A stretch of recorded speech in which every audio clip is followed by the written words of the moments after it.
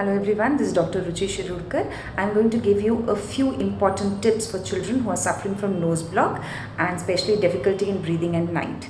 First, before going to bed, take a hot water shower. If you're not you're not able to give a hot water shower, wash your face with a lot of warm water, blow your nose, don't sniff in and drink a little bit of warm water before going to bed.